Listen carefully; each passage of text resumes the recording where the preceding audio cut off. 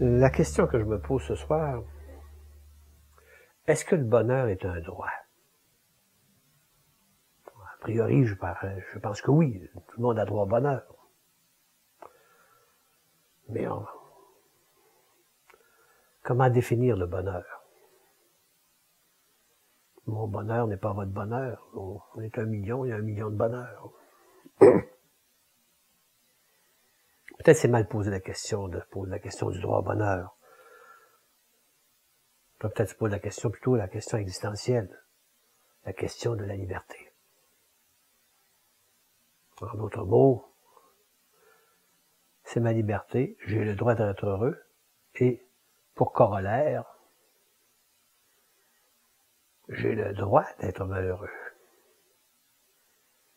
C'est un peu embêtant de dire à quelqu'un qui est malheureux qu'il utilise son droit au malheur. Enfin, réfléchissons à ce que disait Rousseau. L'homme est imparfait mais perfectible. Il y a toujours place pour l'amélioration.